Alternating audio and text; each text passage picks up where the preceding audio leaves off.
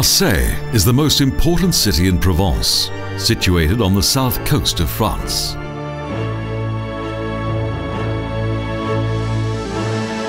France's oldest city, the first settlement here was founded by some Greek emigrants in 600 BC. They named it Massalia. From a distance, one of Marseille's main landmarks rises high above the harbour. The Seafarers' Church of Notre-Dame de la Garde.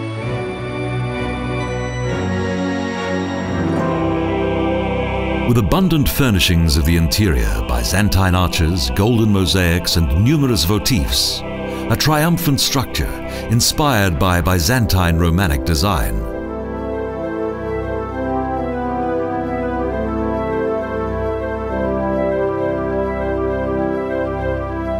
The church resembles a fortress.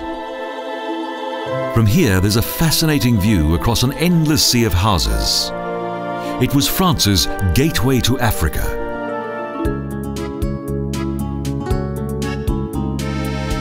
The old harbour was the original heart of the city. The first harbour of the Greek settlers who came here served as a gateway to Asia Minor. They were followed by the Romans.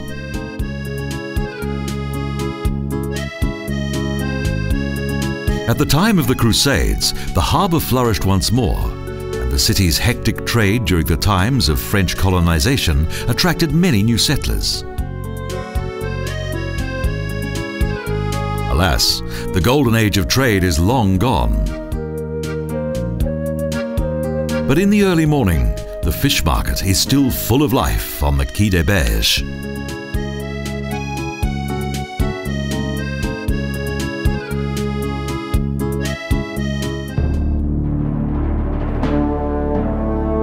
Mighty fortresses overlook the harbour.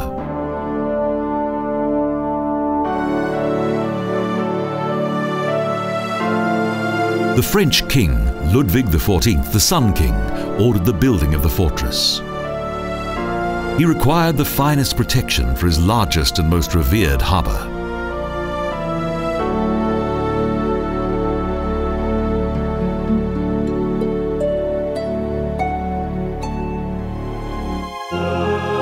The most impressive religious building in Marseille is a fortified monastery church that dates back to the 5th century the mighty Abbaye Saint-Victor.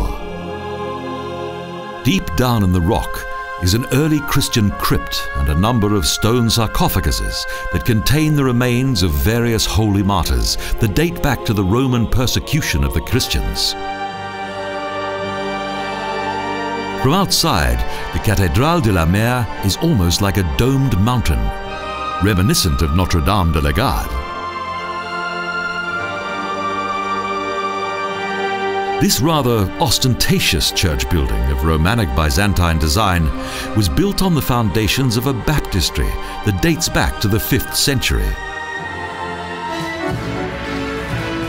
This triumphal arch is located close to the Saint-Charles station. The dead of both the French Revolution and the French Empire are honoured here.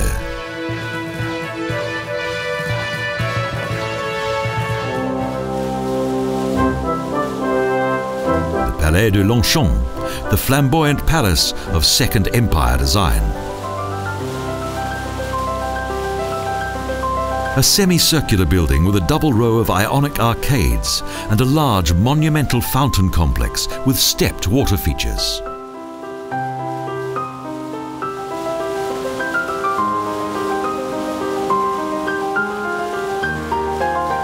Stone busts and ancient figures lead into a well-arranged park above the buildings. And there's even a small zoo.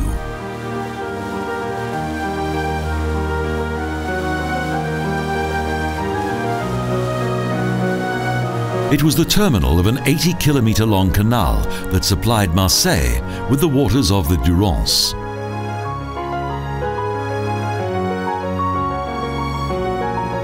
The architects of the 19th century knew well how to combine historic abundance with modern techniques. An imperial work of a golden age.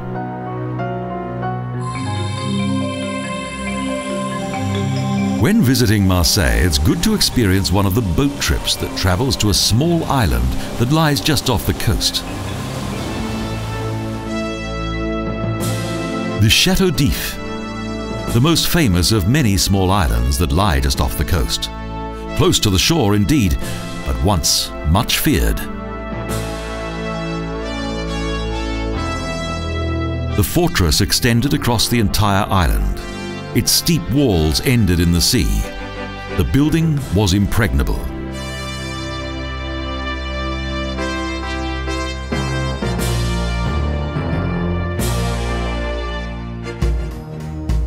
Due to its unique location, the complex was soon transformed into a prison for both Protestants as well as political prisoners.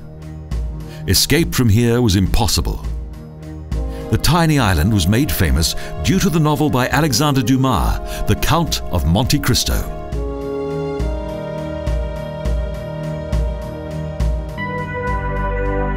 The ferryboat brings new visitors to the island and returns to the mainland, to liberty.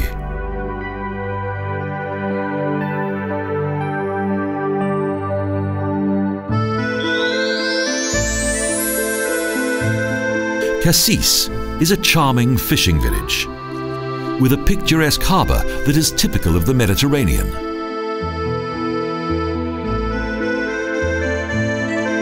With the colourful and neatly laid out houses located along the quay, it's easy to understand why it's so popular with the inhabitants of Marseille.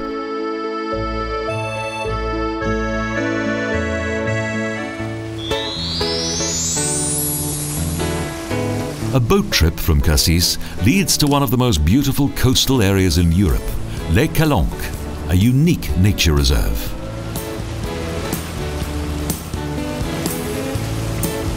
Shining white limestone cliffs plunge more than 400 meters into the deep blue sea, and they extend for 20 kilometers. The crystal clear emerald green water of the bays is a marvelous sight, an idyllic and restful setting.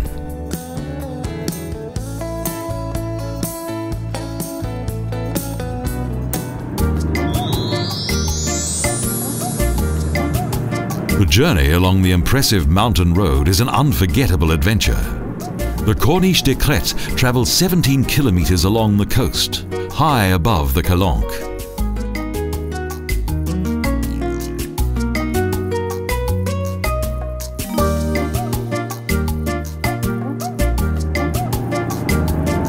French artist Paul Cézanne once created a famous and historic painting of this special paradise.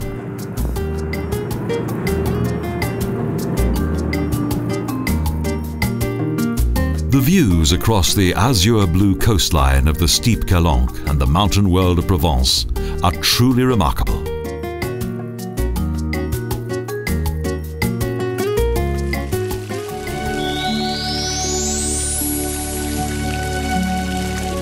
Hot springs once inspired the Romans to settle in a valley below the Celtic oppidum that they had just destroyed.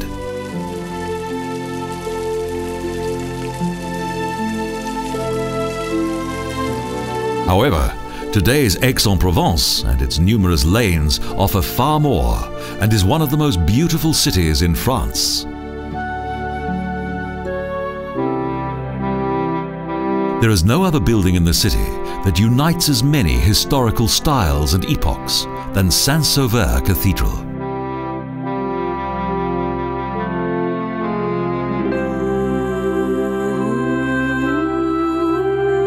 The diversity of the architecture is particularly evident within the interior of this church. The oldest part of the church, the 5th century baptisterium with its eight Roman columns, is a reminder of early Christian times.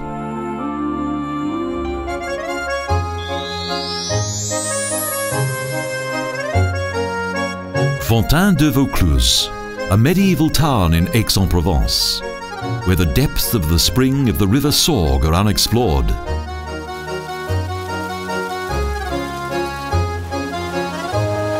Bridges span the shining green river, and these water wheels are relics of an age when weaving mills and dye houses were powered by the water.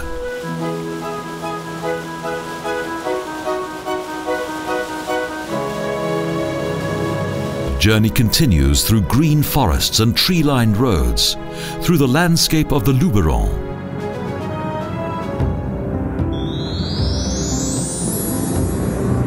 Many artists travel to Gordes.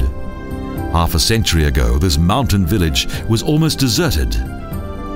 But today it has a population of 2,000, and both Victor Vasarely and André Lhote once lived and worked here.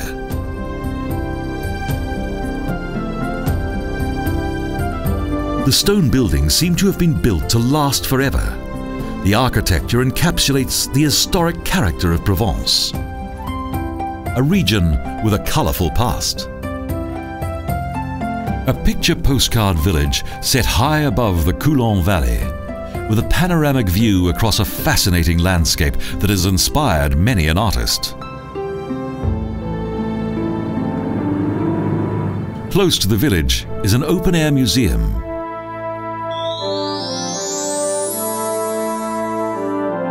These round huts have been built in the shape of barrels and are known as bories, consisting of a mound of rocks and without any use of mortar.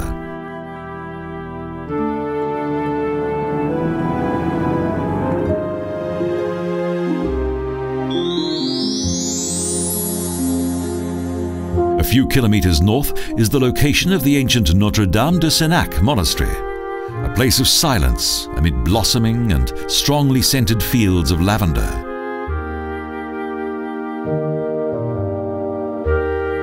It is one of the last three remaining Cistercian monasteries in Provence, where travellers could break bread, sup water and have a bed for the night. Twelve men from Vivarais and an abbot originally founded the monastery. This corresponds to Jesus and his twelve apostles. Today, six monks still live here. Shining natural colour helped to make this village located on the hills north of Gordes famous. Roussillon, with its colourful abundance of ochre. Prehistoric man painted caves with it, and the Romans mined it and used it in the production of ceramics and cosmetics.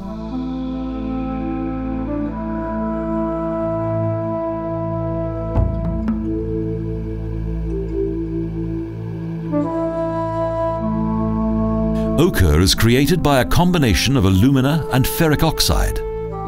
Its resultant color varies according to the proportion of these elements, from light yellow to rusty red.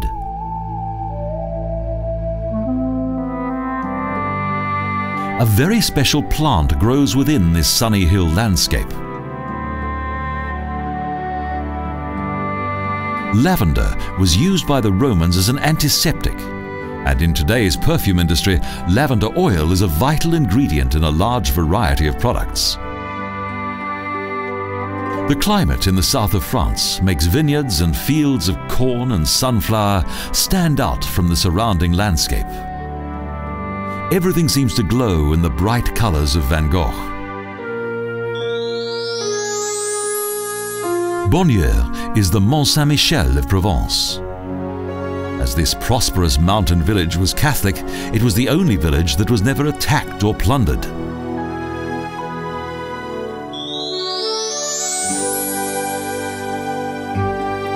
Sur le pont d'Avignon, Thus begins the world-famous French song that is familiar to both young and old alike. It is a song of dance on the bridge of the Pont Saint-Bénézet. But it's more likely that the people here once danced under the bridge, as that is the location of the bars. The impressive Pope's Palace dominates the centre of the town. On the outside, it resembles a military fortress rather than a religious residence. Internal disputes, in addition to power struggles in Rome, transformed Avignon into the new seat of the pontificate.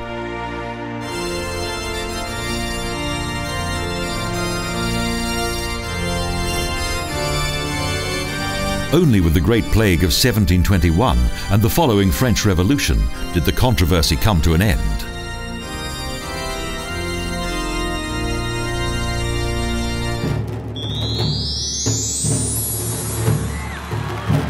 Various of Caesar's veterans settled in Orange, with all the comforts of a Roman town circus, capitol, thermal baths, and numerous temples.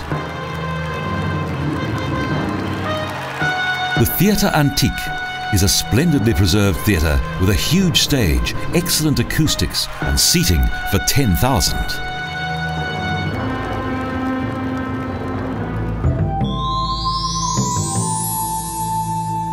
Pont du Gard, the most famous section of the water route to Nîmes that was built by the Romans 2,000 years ago. A bridge-like aqueduct.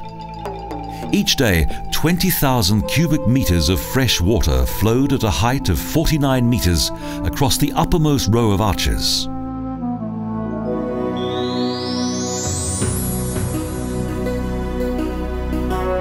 Nîmes, or Nemausus as the Romans called their colony, developed into an important center.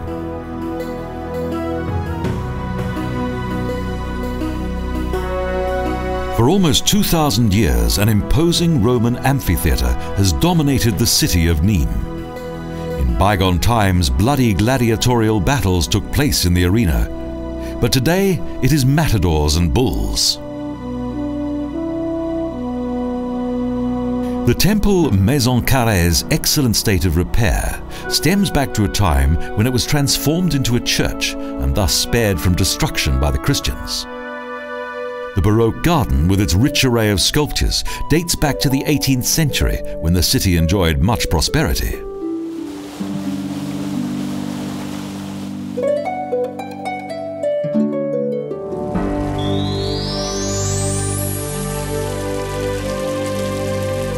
Beautiful fountain graces the Place de la République in the heart of Arles, an historic and charming small town in the south of France. The cathedral's atmospheric cloister is regarded in Provence as an architectural gem of Romanic art.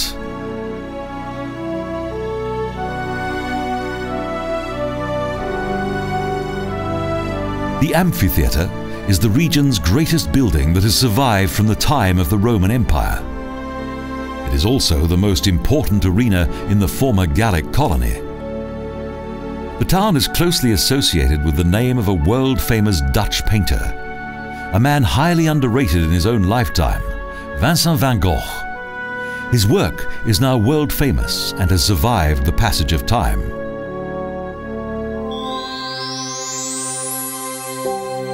Langlois drawbridge became the Pont Van Gogh, a world-famous motif of the great Grand Master.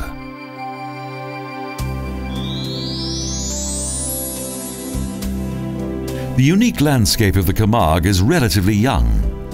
The region along the Rhone Delta that developed in the Quaternary period enjoys a good degree of sunshine.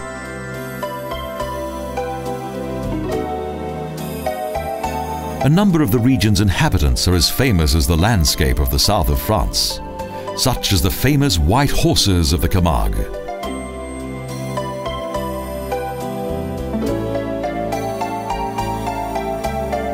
The wild vegetation and natural swampland known as the étang are essential breeding places for millions of birds.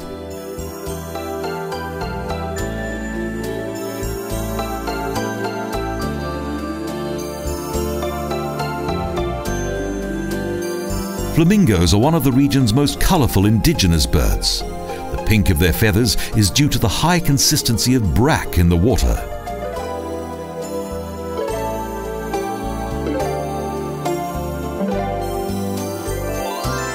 While various endangered bird species are protected in the Camargue's Ornithological Park, large numbers of birds fly overhead.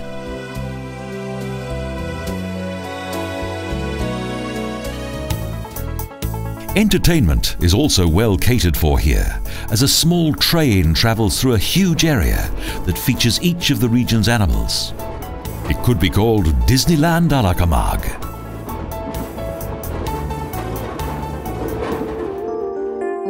This fertile, often flooded land has been used for agriculture since the Middle Ages. Thus, in addition to rice and wine, it also contains forests.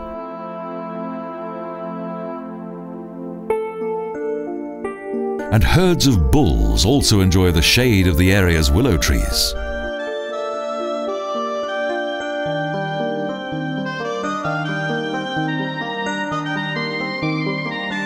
The fascinating Parc Ornithologique contains plants and many rare and colourful birds that were once to be seen throughout the whole of France.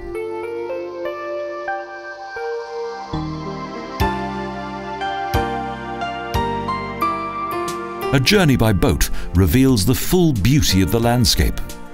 Both natural and artificial canals travel through the tributaries of the Rhône.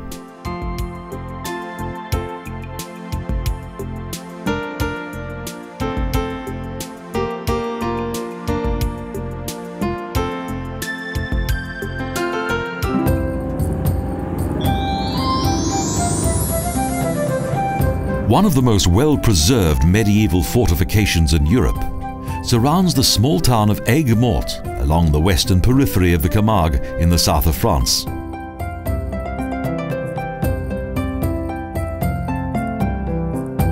The 1700 metre long town wall of Aigues-Mortes consists of 10 gates and 5 defensive towers. A true masterpiece of medieval architecture. In the 13th century, King Louis the Holy was in search of a suitable location for a harbour on the Mediterranean that would serve both trade and military purposes.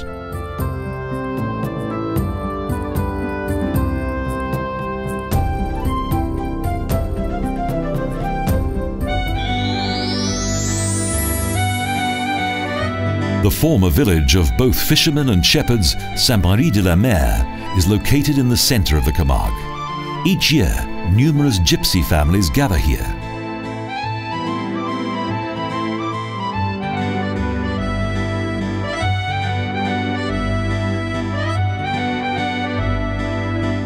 The city boasts a large yacht harbour and long sandy beaches. And the bullfights draw huge crowds of visitors. For as long as can be remembered, the delta of the River Rhône has been used for the production of sea salt. And Salins de Giraud is the centre of this industry. Roads built on dams separate the numerous salt fields that look like a shining white desert. A colourful picture beneath the scorching sun.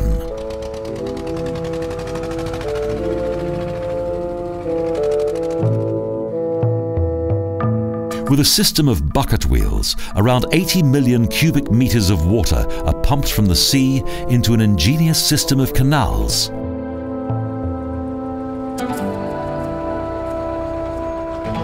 The water evaporates, and salt deposits are collected from the fields with modern machinery.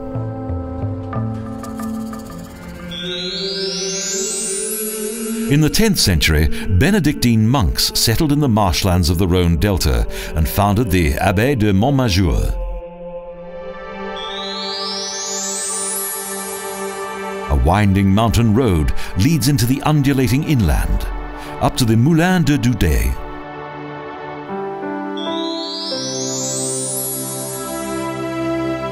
The romantic medieval village of Les Baux-de-Provence is situated on a rocky plateau surrounded by the charming mountain landscape of Provence. During the Middle Ages, this small town became a centre of power, while the corrupt owners of its castle ruled over most of the province.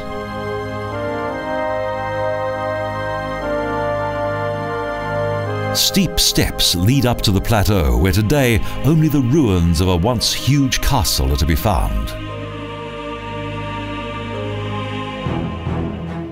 Medieval siege machines are reminders of earlier battles and wars.